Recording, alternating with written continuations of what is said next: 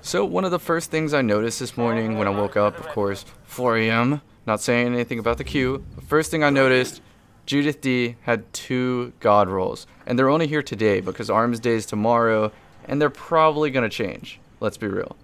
So this one, True Sight IS, Steady Hand IS, Crowd Control, Reactive Reload, Speed Reload, High Caliber rounds, remember those just got changed at range, and Small Bore. For Mini, that's a god roll. I'm still going to wait on the Sure Shot IS. And then here's our second one. We got Sure Shot IS, True, no, Fast Draw IS, Crowd Control, Rangefinder, Hand Loaded, probably not useful, Explosive Rounds, very useful, and Small Bore.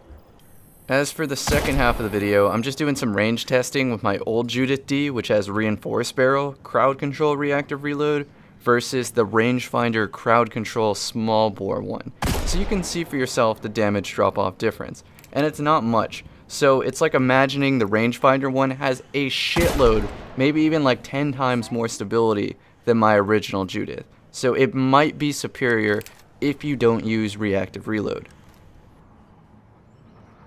Heavy ammo on the way.